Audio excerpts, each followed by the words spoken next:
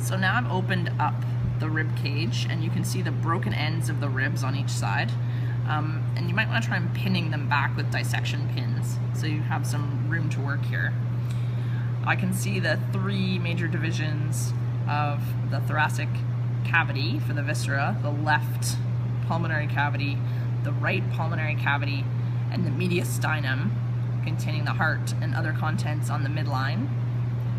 And I can also see quite nicely here over the heart the per pericardium and some pericardial fat.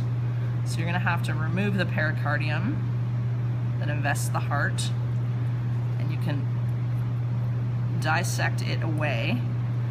And then as you work in freeing the heart, you're gonna see the globe of the diaphragm. And that should be the inferior extent of today's dissection. And of course, this is the left lung and the right lung.